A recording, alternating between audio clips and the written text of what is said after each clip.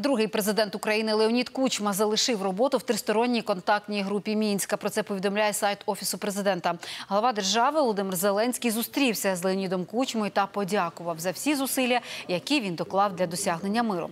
Президент також наголосив, що робота Леоніда Даниловича у мінському процесі була надзвичайно важливою і водночас складною. Тому поважає рішення припинити участь у діяльності групи і готовий почути поради в майбутньому. Зі свого боку, другий президент України зазначив, що за останній рік робота контактної групи була відновлена і значно просунулася. Були здійснені вагомі кроки, досягнуто важливих домовленостей. Леонід Кучма і далі готовий ділитися досвідом і надавати консультації щодо встановлення миру. Нагадаю, Леонід Кучма очолював українську делегацію в тристоронній контактній групі з 2014 по 2018 роки, а вдруге її очолив у червні минулого року.